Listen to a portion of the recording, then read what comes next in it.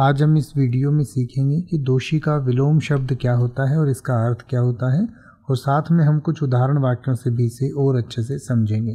तो सबसे पहले दोषी का अर्थ समझते हैं। दोषी का अर्थ होता है अपराधी या गलत काम करने वाला, यानी कि जिसने कोई अपराध किया हो, उसे दोषी कहा जाता है। तो दोषी का विलोम शब्द, यानी कि विपरीत आर्थक शब्द होता है निर्दोष, और निर्दोष का अर्थ होता है बिना दोष के या जिसने कोई दोष या अपराध नहीं किया हुआ होता है उसे हम निर्दोष कहते हैं। तो आइए अब हम दोषी और निर्दोष को कुछ उदाहरण वाक्यों से समझें। जैसा कि आप कह सकते हैं कि अदालत ने उसे दोषी करार दिया।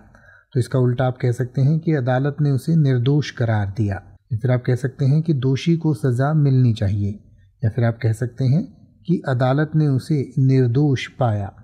या फिर आप कह सकते हैं कि कई बार निर्दोष लोगों को गलतफहमी के कारण सज़ा भुगतनी पड़ती है।